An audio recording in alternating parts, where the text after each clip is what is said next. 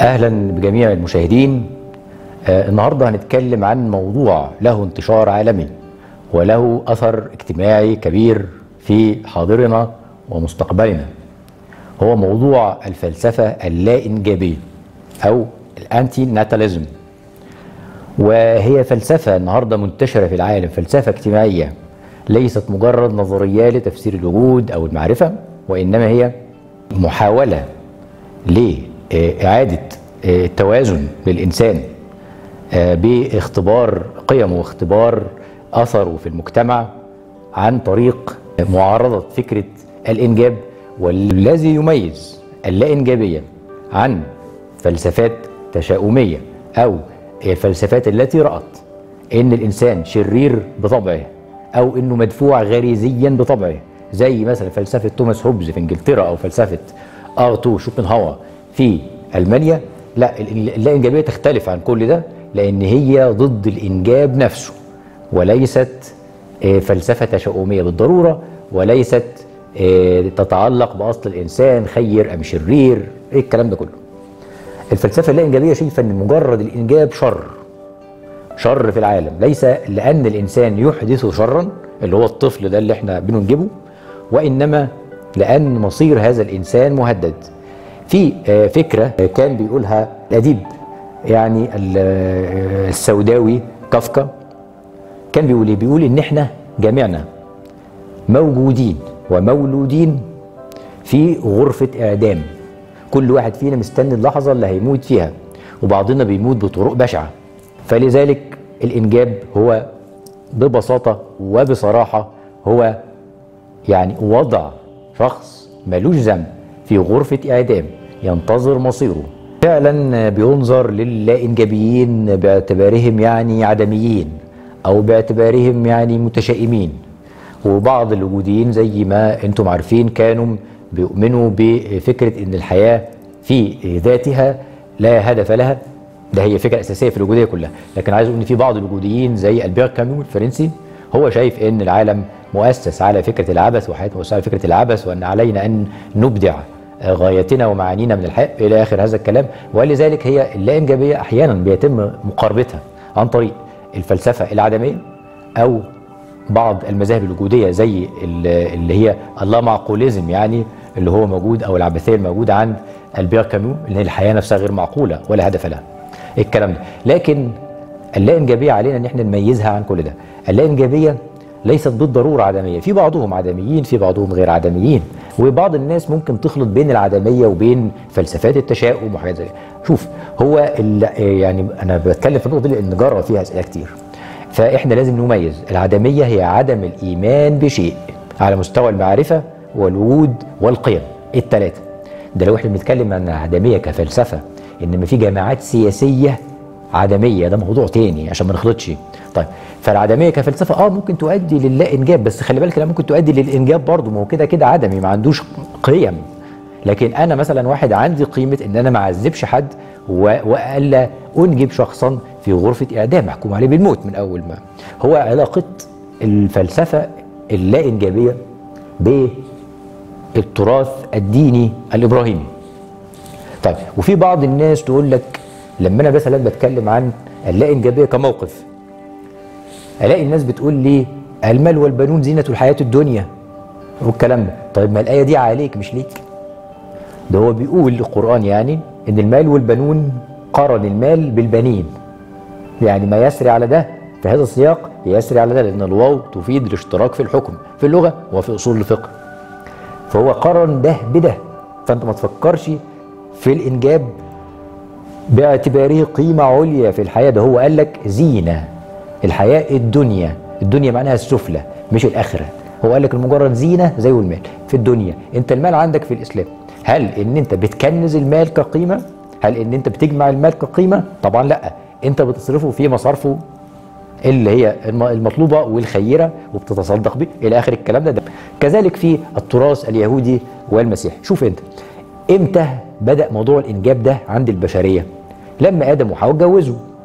وهم اتجوزوا من غير جنس إلا لما كلوا من الشجرة. في القرآن هو ده الوضع بالظبط لما ارتكبوا هذه الخطيئة هذه المعصية التي أوحى بها أو ألهم بها الشيطان آدم ده أدى على المدى البعيد هم شافوا سوءتهم. يعني ما كانوش شافوها العورات بتاعتهم. فيتجوزوا إزاي ويخلفوا؟ من غير ما يشوفوا سوءتهم من غير ما يشوفوا عورتهم. وبالتالي فالانجاب في الديانات الإبراهيمية هو نتيجة للخطيئة وللمعصية. وليس شيئا ايجابيا في الحياة. أنا عايز أقول برضو في هذا السياق ليه الإنجاب مش بس إنه فعل غير ضروري؟ يعني الديانات الإبراهيمية بتقول إن هو فعل غير ضروري مش محرم. هو في صلة بين اللا انجابيه وحالة ما بعد الحداثة. مش بالضرورة فكر معين فيما بعد الحداثة. آه، إحنا عندنا فلاسفة كتير فيما بعد الحداثة ليهم اتجاهات مختلفة لكن كلهم بيتكلموا من منطق إن إحنا في حالة ما بعد الحداثة. حالة ما بعد الحداثة دي كانت هي المانيفستو. الخاص بفلسفة ما بعد الحداثة كلها بكل ثرائها وتنوعها يعني. وموقفنا منها ده ما يعنيش هنا إنما اللي يعنيني إن حالة ما بعد الحداثة نفسها إن الأنساق الكبرى والغايات الكبرى انهارت بعد الحرب العالمية الثانية اللي كانت في الحداثة في أوروبا وبدأت مرحلة ما بعد الحداثة في أوروبا عدم بقى يعني التمسك بتلك الأنساق الكبيرة المغلقة. يعني ما فيش نسق فلسفي متكامل ظهر بعد الحرب العالمية الثانية يعني هو نسق هايدجر هو نسق ده صحيح إلى حد كبير مجموعة من النظريات مترابطة يعني إلى حد كبير إنما آه، مارس تأثير ضخم جدا يمكن هو أهم فيلسوف في القرن العشرين إنما هو تكون قبل الحرب العالمية الثانية وكتب أهم أعماله قبل الحرب العالمية الثانية. إنما طبعا بعد هذه الحرب المدمرة وانتشار الثقافة الغربية في جميع الحالات بغض النظر عن الحالة اللي هي فيها حداثة أو ما بعد حداثة فإحنا وصلت لنا حالة ما بعد الحداثة. النهارده لما تيجي تتكلم مثلا في مجال الأدب فتقول إن هذا النص يعني القراءة الموضوعية ليه تؤدي إلى كذا وكذا. هتلاقي الناس عادة من المثقفين بأن سؤال المثقفين يعترض يقول لك لا النص ليه كل المعاني مفيش مفيش معنى واحد. دي كده ما بعد الحداثة معانا في المكان. ده من ضمن أهم مبادئ ما بعد الحداثة هو إن كل معنى معتمد على معنى وبالتالي هي عملية تسلسل لا نهائي في النهاية والمعنى نوع من الخدعة مش بالضرورة يعني معنى ومش معنى بالظبط يعني وبالتالي مفيش معنى وبالتالي كذا كذا لا إحنا عايزين نفرق بين اللا إنجابية كموقف غائي مش عدمي. أنا غايتي في الحياة إن أنا أحافظ على قيمي وأحافظ على أخلاقي وإن أنا لا أناقض أخلاقي وقيمي. أنا بستغرب ان ألاقي حد بستغرب فعلا برغم أنت كمشاهد مش بتستغرب يعني.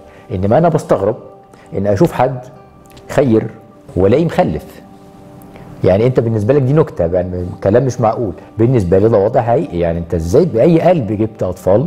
حتى لو العالم بتاعنا ما فيهوش حروب ما فيهوش حاجة محكوم عليه بالموت والمرض والمعاناة اللي إحنا شفناها كلنا. بعضكم كمشاهدين صغير في السن شوية لسه في أوائل العشرينات ولا حاجة لكن قدامك 10 سنين لغاية سن ال 30 هتشوف فيهم كتير. وأنا آسف إن أنا بصارحك بهذه الحقيقة. هتعاني فيهم كتير. كل واحد بيتحمل مسؤولية اختياراته والطفل لم يختر. ما اختارش إنه يجي الدنيا. وما اختارش أي حاجة لسه لسه ما جاش الدنيا فأنا بختار له إنه يجي الدنيا. بالظبط زي كأني اشتريت كلب صغير أو قطة صغيرة وعايز أعلمه العوم فرميته في البحر. يا يعوم يا يغرق. والطفل ده كائن هش جدا ومعرض لكل الأخطار كلما كان صغير كلما كان الأخطار عليه أكبر ومعتمد بالكامل على الأسرة. نبطل نتكلم عن الإنجاب باعتباره قيمة إيجابية. نتراجع عن القيمة الإيجابية اللي إحنا بنضفيها على فكرة الإنجاب في حد ذاته وما تعرفش ليه. لما إحنا نعمل كده ده هيضمن حق أكبر للنساء وحرية أكبر للنساء. لأن المرأة أحيانا ما بتكونش هي اللي عايزة تخلف. بيكون الراجل هو اللي عايز يخلف. ولكن الضغط الاجتماعي بيخليها تخلف وبيخليها تخلف يمكن أكتر من اللي هي عايزة. وده بيجي على صحتها هي. في باحثين يقول لك آه إحنا ما عندناش موارد تكفي العالم في نقطة حرجة. بس خلي بالك إحنا مرينا بده كذا مرة قبل كده. إحنا مرينا بنقص الموارد قبل الحرب العالمية الثانية فنشأت فكرة المجال الحيوي. الكلام ده قبل تطوير صناعة الأسمدة إن تقدر تزرع في نفس المنطقة كتير فتقدر تغطي احتياجات أكبر. فالمجال الحيوي ده معناه إيه؟ إن إحنا كشعب في ألمانيا يعني اللي هو الرايخ الثالث عددنا كبير كانوا حوالي 70 مليون نسمة في الوقت ده وده يعتبر عدد كبير جدا في أوروبا وحتى الآن يعتبر عدد كبير بالنسبة لدولة واحدة يعني. فكانت أكتر دولة في عدد السكان وما فيش موارد فلازم إن هم يحتلوا الدول الثانية اليابان كان عندها نفس الفكرة تحت عنوان تاني. ده اللي أدى للحرب العالمية الثانية نفسها نقص الموارد. ولكن تطوير صناعة الأسمدة هو اللي انقذ البشرية من مجاعة كانت ممكن تحصل في الفترة دي. فإحنا مرينا بده ونجحنا فيه. فبعض الباحثين يقول لك آه هيبقى في ناس كتير مفيش موارد ده صحيح وهيعمل مشاكل لكن برضه هيبقى في علماء أكتر. وهيبقى فيه باحثين أكتر يحلوا لنا المشاكل. ما أقدرش إن أنا أبرهن على اللا إنجابية بإن إحنا ما عندناش فرص اجتماعية. من الوارد يبقى فيه فرص أكبر في الفترة الجاية لأن العالم داخل على مرحلة تحول سريعة وغير مسبوقة عن طريق تطوير الذكاء الاصطناعي الفائق. مش الذكاء الاصطناعي اللي هو artificial intelligence بس أنا بتكلم عن الذكاء الاصطناعي العام اللي هو ال general artificial intelligence أو ال super intelligence اللي هو الذكاء الفائق اللي هو يتفوق على ذكاء الإنسان نفسه ده هيغير أمور جوهرية في الحياة بتاعتنا ممكن يؤدي إلى تطوير صناعة النانو تكنولوجي اللي هي هتحل لنا مشاكل خطيرة ومهمة جدا جدا ولكن ال- اللا إنجابية إحنا ما نقدرش نبرهن عليها بهذا بهذا البرهان لهذه الأسباب اللي أنا قلتها وإنما البراهين عليها عادة أنا موقفي منها موقف أخلاقي بالدرجة الأولى. هو طبعا الأيديولوجيات القومية لأنها قايمة على فكرة نهضة شعب فكرة إن فيه شعب يعني. فهي بطبيعة الحال بتميل أكتر يعني ما شفناش أي الايديولوجيات القومية اللي إحنا شفناها كلها كانت مع الإنجاب بشكل متطرف لدرجة إن النازيين قعدوا الستات في البيت عشان تخلف. آه، حصل في رومانيا وهي مش أيديولوجيا قومية أيديولوجيا كانت في الوقت ده دولة شيوعية.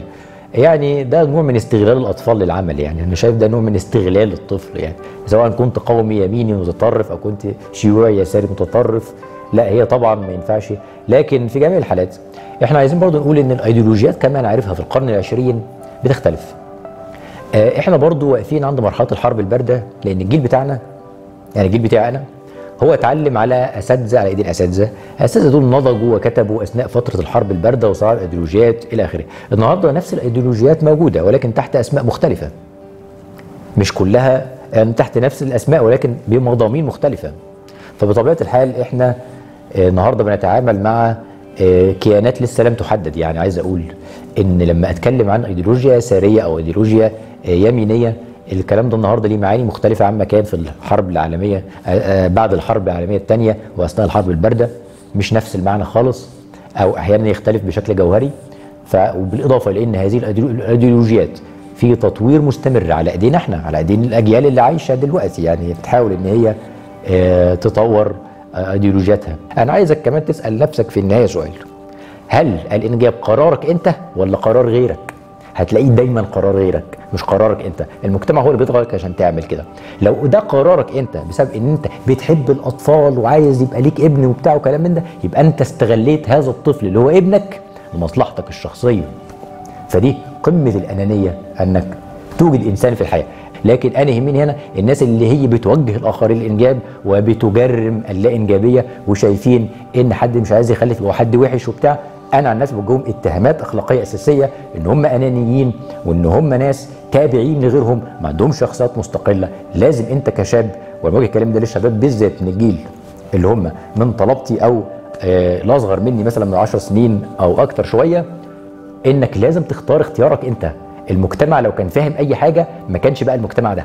لازم تعرف ما اجتمعت أمتي إلا على باطل. أنا بقول كده. أمتي اللي هي في مصر المجتمع المصري لو كان بيفهم ما كانش وصل لهذا الحال ولو كان الأكثرية تعلم يعني الصح ما كانش أنت كنت هتعاني من المشاكل اليوميه اللي أنت بتعانيها والمشاكل ربما أنت عانيتها كطفل.